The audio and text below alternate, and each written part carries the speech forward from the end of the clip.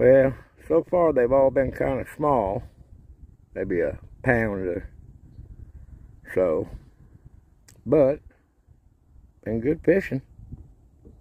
See you, feller.